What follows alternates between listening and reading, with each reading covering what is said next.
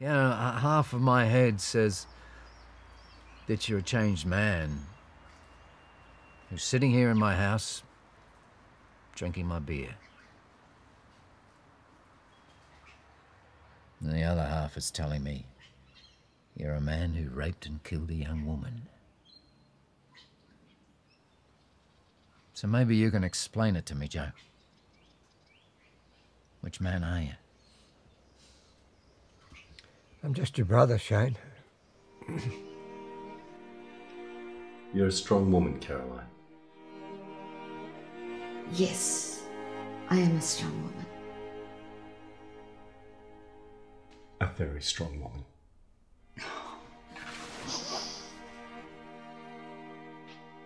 Caroline, Alice, Joe's here.